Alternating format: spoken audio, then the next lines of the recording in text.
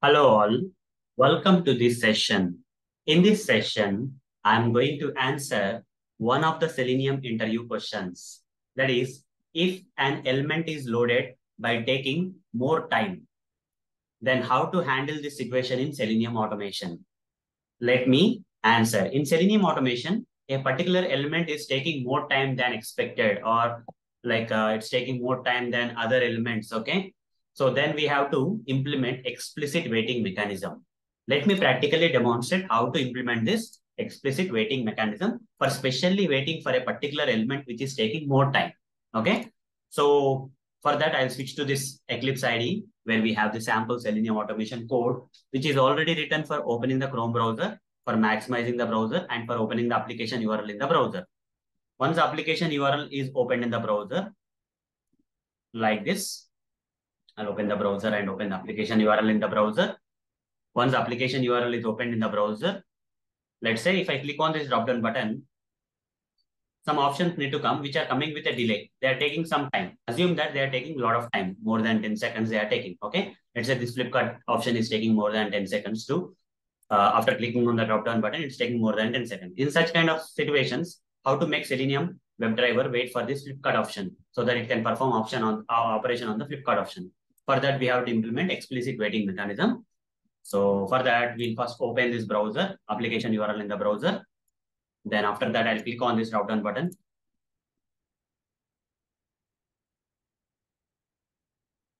Copy this and write down driver dot find element by dot okay by dot class name provide the class locator and say dot click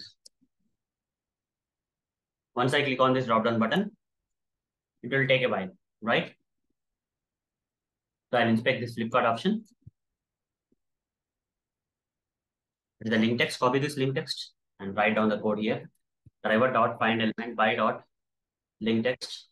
Provide the link text, Flipkart option and say dot click. But here Selenium will not wait for the Flipkart option. So we have to explicitly wait.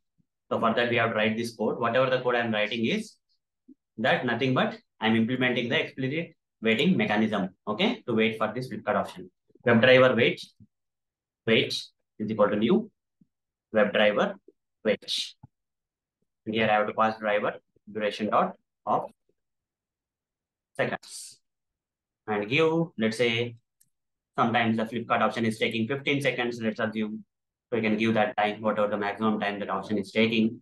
Import this from Selenium library and now say wait dot until expected conditions dot visibility of element located by give this locator by dot link text and here paste it.